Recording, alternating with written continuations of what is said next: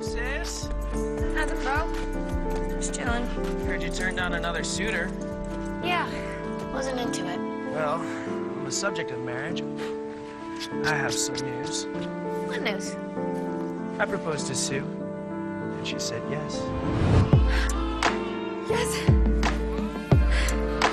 Yes. Can't marry Sue. Why not? Austin, she's my best friend. Look, Emily, don't get all crazy right now. It's not a good time. Sue's sister Mary is dead. What? But she was the healthy one. I know, but then she got typhus and died, like all the others. Jesus, poor Sue. Yeah, so just be respectful of her situation, okay? You don't have to tell me to be respectful of my best friend. Be respectful of the woman who's going